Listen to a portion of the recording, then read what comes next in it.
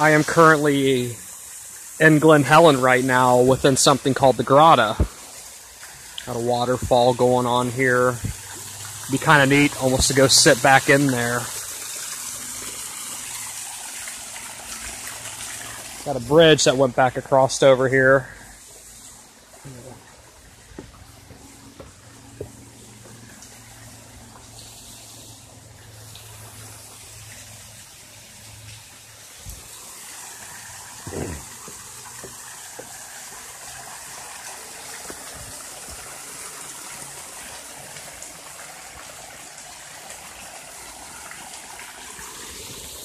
Little stream going down through here. This is a really neat place. I really love this place.